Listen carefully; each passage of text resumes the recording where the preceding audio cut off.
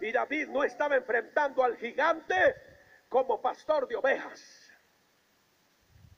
David no estaba enfrentando al gigante como pastor de ovejas. Antes de entrar al campo de batalla, David dijo, yo era. Yo era pastor de ovejas. Pero ahora yo voy a ti, Goliat, como el rey de Israel.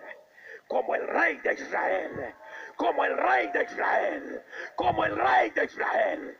Como el rey. Como el rey. Como el rey.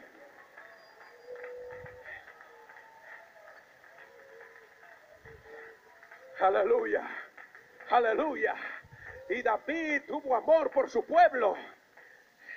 Por todo ese ejército que estaba atemorizado